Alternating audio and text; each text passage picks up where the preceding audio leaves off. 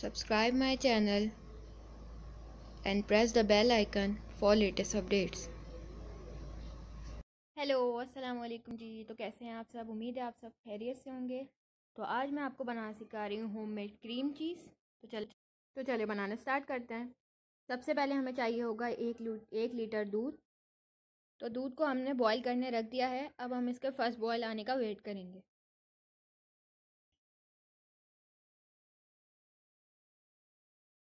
तो जैसे आप देख रहे हैं, पहला बॉयल आ गया है।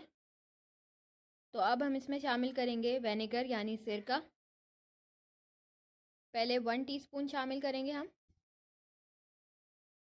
टोटल चार टीस्पून हमने इसमें शामिल करना है, लेकिन एक एक टीस्पून करके।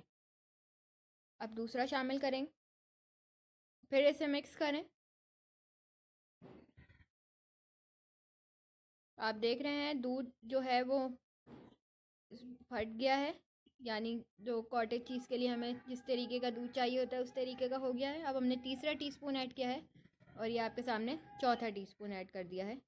अब इसे मिक्स करेंगे और तकरीबन दो या तीन मिनट तक पकाएँगे। मिल्क जो है वो कर्डल हो गया है, लेकिन हम एक दो मिनट और पकाएँगे।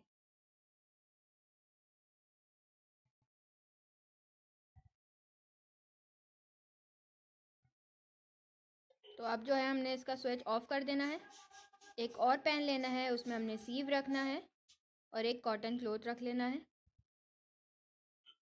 मलमल का कपड़ा।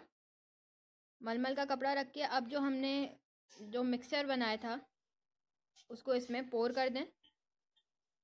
जो सारा पानी है वो नीचे चला जाएगा और जो मिल्क के कर्डल हैं वो ऊपर रह जाएँगे। इसको थोड़ा सा प्रेस करें।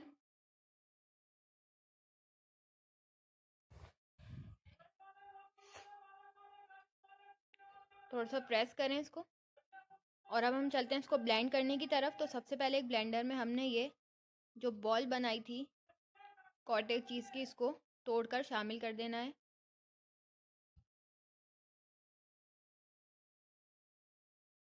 अगर आपको लगे कि मिल्क जो है वो ब्लेंड नहीं हो रहा है। वन एट टी स्पून हमने इसमें सॉल्ट भी डालना है।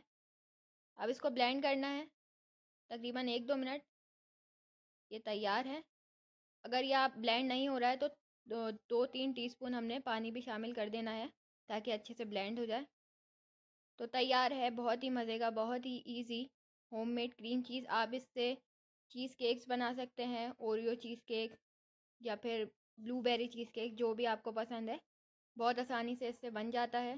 तो मुझे उम्मीद है आपको मेरी रेसिपी पसंद आएगी। तो अगर आपको मेरी रेसिपी पसंद आए तो मेरी वीडियो को लाइक करें, इसे अपने फ्रेंड्स एंड फैमिली के साथ शेयर करें और मेरे चैनल को सब्सक्राइब करना मत भूलिए। चलिए मिलती हूँ आपसे अपनी नेक्स्ट वीडियो में। तो तब तक अपना बहुत बहुत ख्याल रखिएगा। और इसी तरीके से मेरी वीडियोस को देखते रहें, इसे लाइक करते रहें। मैं मिलती हूँ आपसे अपनी नेक्स्ट वीडियो में।